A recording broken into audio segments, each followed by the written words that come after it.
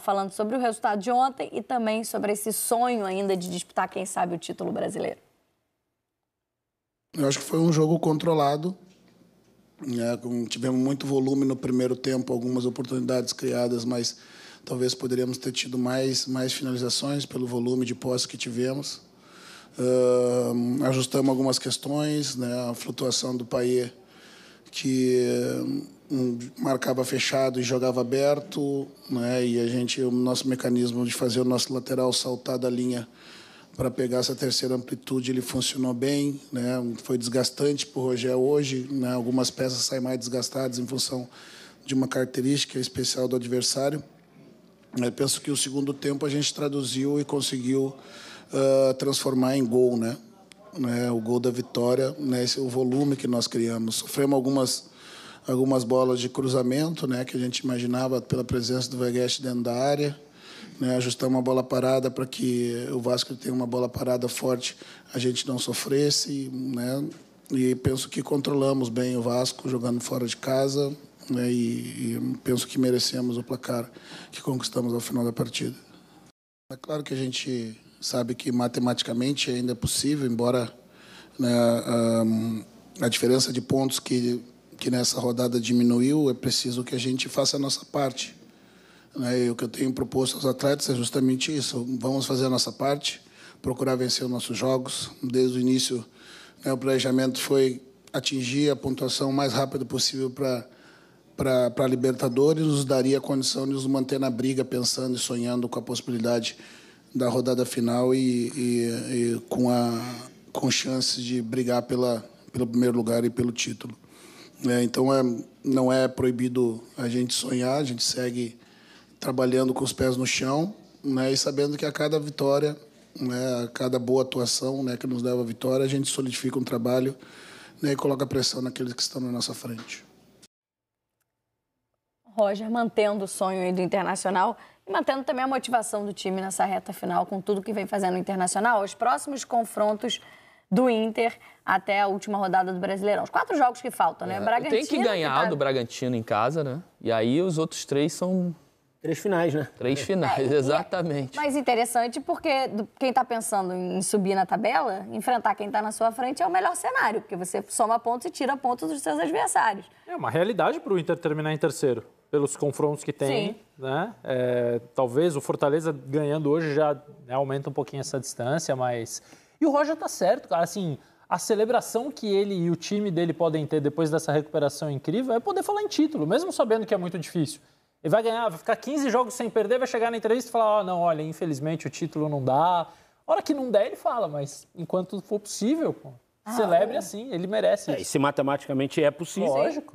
Olha o retorno do Campeonato Brasileiro do Internacional, o líder do retorno com esses é, 15 jogos de invencibilidade, com 11 vitórias né, incluídas é, nesses 15 jogos. Campanha do Internacional, 34 pontos em 14 jogos, é, faltando ainda quatro jogos para o final do Brasileirão, para o final do segundo turno, claro. É, uma vitória a mais, três pontos a mais do que o Palmeiras é, nesse segundo turno, mas mostra Olha, 14, como o Internacional avançou já na tem 15, né? 15 jogos? o Inter já tem 15, faltam 4 pro Inter, né? É. É verdade. Então já tem 15 ali. Bem, bem corrigido. O Inter e o Vasco, né? Acho que esses números então, são sem os jogos de ontem. De ontem né? é, sem os jogos de... Então vai a 37, que é mais impressionante Mas ainda. Mas é, são 34 ou 37? Agora eu não, eu não me lembro. É, eu acho que os pontos estão certos. Acho que é, são, então é são 35 só, mais em 15, é. em 15 jogos. jogos e não em 14. Em 34, perdão. Em 15 jogos, já contando o jogo de ontem contra o Vasco, faltando 4, de fato, os 19 do, do retorno do Campeonato Brasileiro.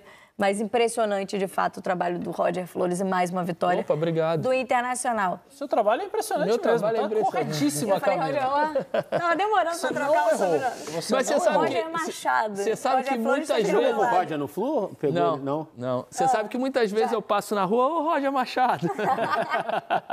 Mas talvez ainda não tivesse chamado Roger Machado de Roger é, Flores. É. Eu nem percebi, Suzana. Vocês não falam, eu nem tinha percebido a, a troca, mas enfim, do Roger Machado, esse internacional, agora corrigido a nossa tabela do retorno. Tem 15 jogos o Internacional nesse retorno já é, completos e aí 34 pontos é, somados. Só Fortaleza e Fluminense ainda não jogaram nessa rodada, jogam nessa sexta-feira, e aí por isso tem 14 jogos ainda, 14 partidas nesse retorno do Brasileirão. Falamos muito do vitorioso de ontem, né, do Internacional, é, que continua nessa sua campanha crescendo na tabela de classificação. Quem estacionou foi o Vasco, depois que praticamente se livrou do rebaixamento do Campeonato Brasileiro, começou a tentar olhar para cima, olhar para, quem sabe, uma classificação, um G8, um G9 de Campeonato Brasileiro para uma classificação na Libertadores, mas vem de uma sequência bem ruim é, de resultados. A gente pode mostrar, até começar mostrando, a gente destacou as vaias na colina, porque ontem o torcedor ficou muito frustrado com mais uma derrota, uma atuação ruim do time. A gente tem, assim, um sobe-som, um pouquinho do volume e da torcida do Vasco ontem com o resultado em São Januário.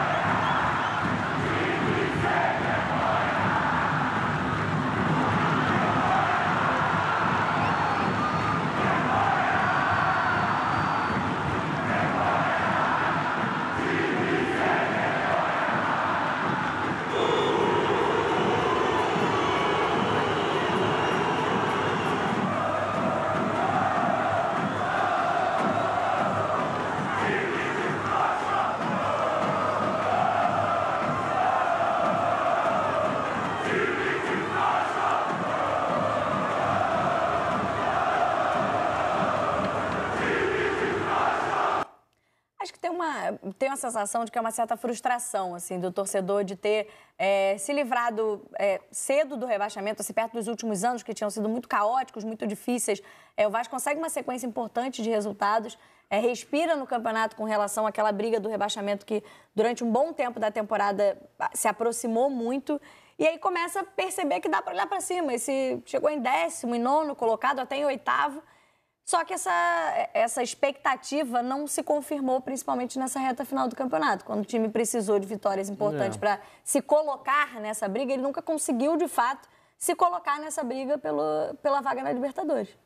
É, o, o Vasco chegar nessa posição hoje, ou há três rodadas atrás, com a pontuação que tinha, né, já falando em, em, em livrar de, de, zona de rebaixamento, é quase que um milagre né, pelo time que tem por tudo aquilo que aconteceu durante a temporada.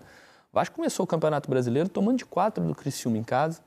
Foi a última derrota né, do Vasco em São Januário. Depois tomou seis do Flamengo no Maracanã.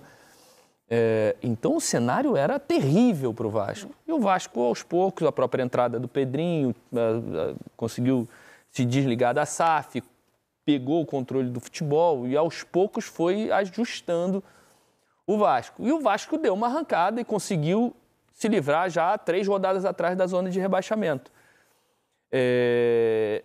E aí tem algumas situações, né? Essa perspectiva, né? Opa, já estamos livres, podemos jogar um pouquinho mais relaxado, temos pontuação para buscar uma vaga de Libertadores, o sonho começa, a expectativa começa a aumentar. É... o elenco do Vasco é ruim.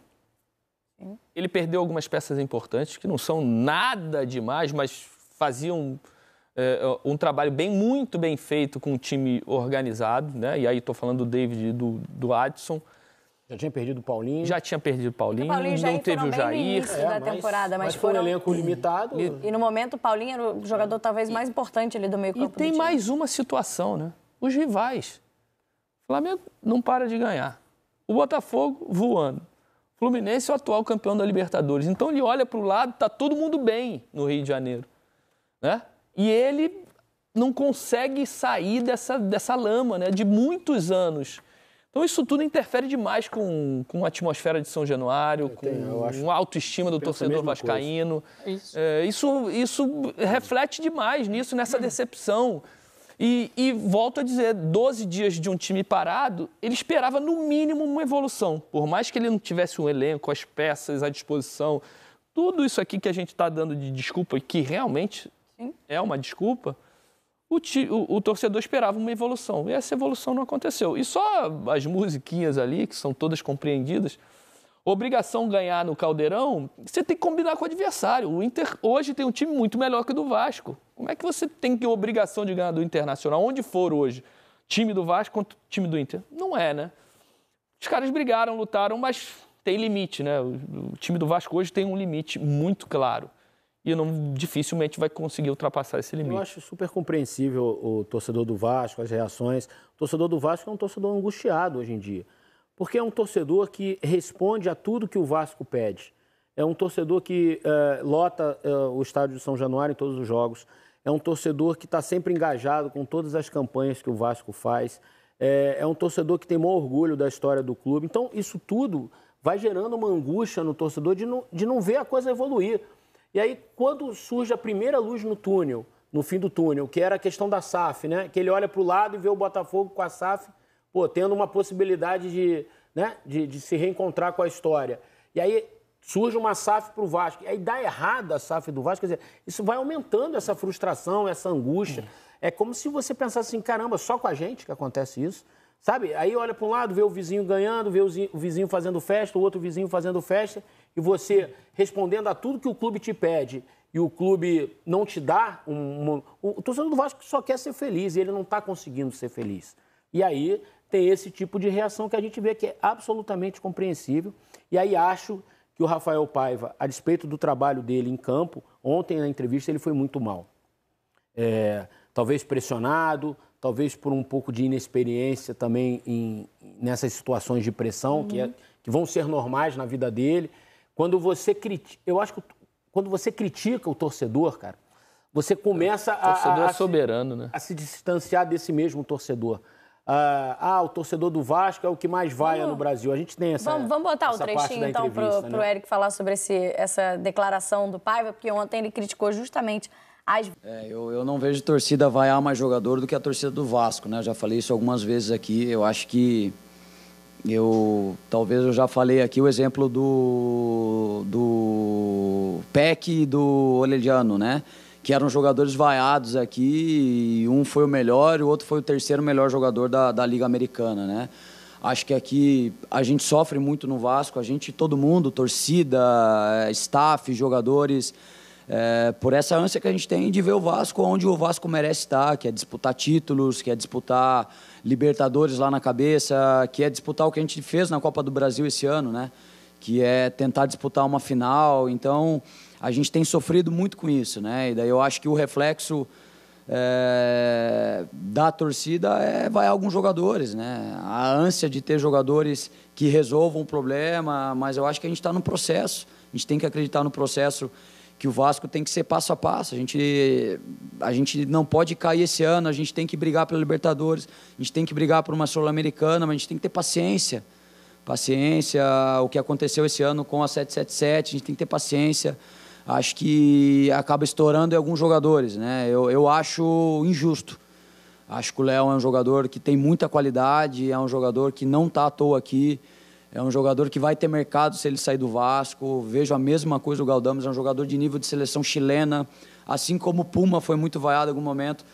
Jogou, entrou agora no Uruguai contra a seleção brasileira, assim como o Rayan já foi vaiado. A gente tem vários, se eu ficar falando aqui, são vários jogadores.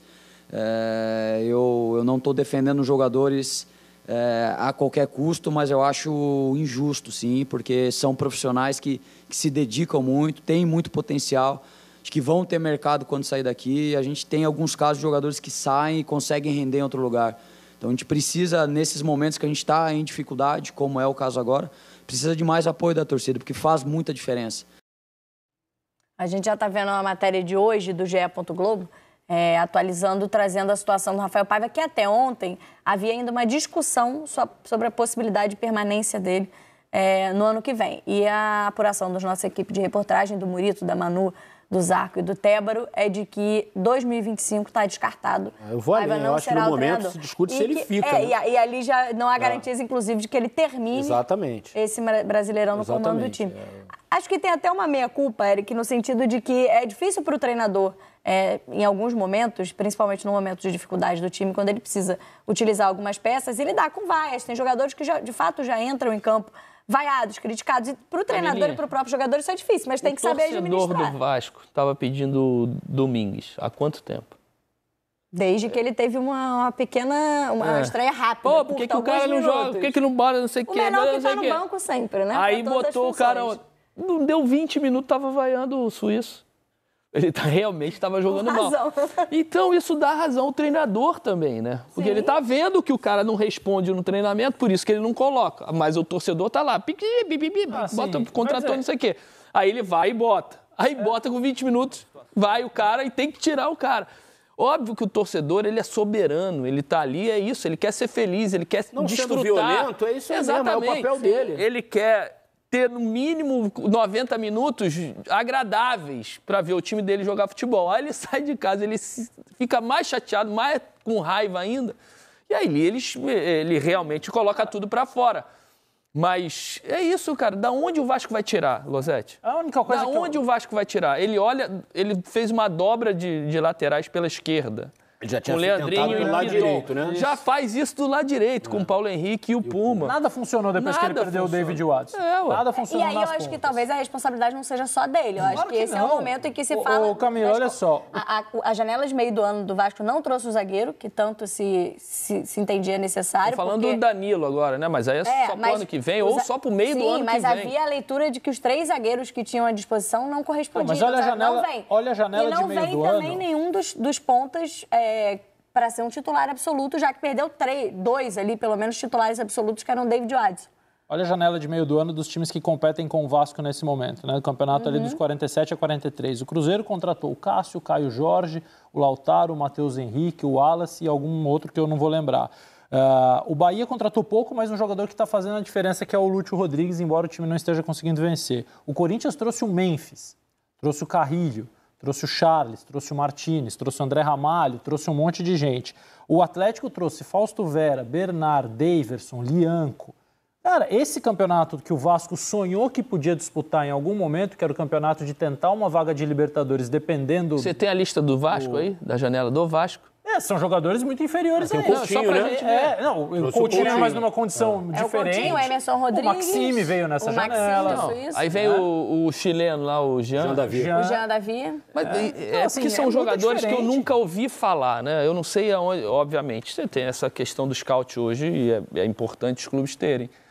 Mas para o Vasco, se você não traz o jogador para resolver ou para ser titular absoluto, tra- trazer qualquer coisa, aí é o que eu falo. Por que, que não usa a base?